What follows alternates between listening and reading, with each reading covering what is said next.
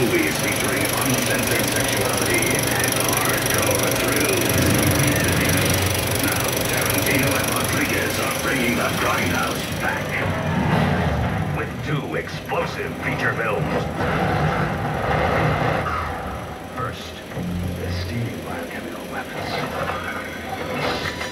When the laws of science are broken, the last hope for humanity rests in the hands of a few. Doc Block, his prescription, pain.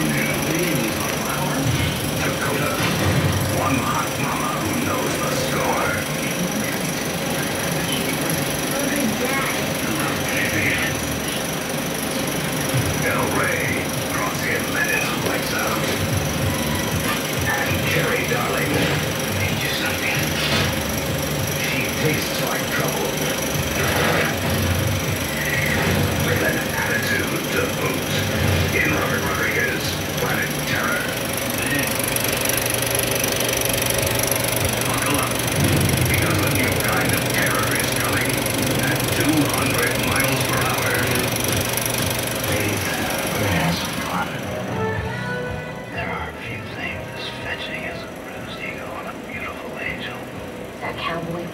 I'm not a cowboy, man. Stop me. Quentin Tarantino is death-proof. This car is 100% death-proof. Only to get the benefit of it, honey, you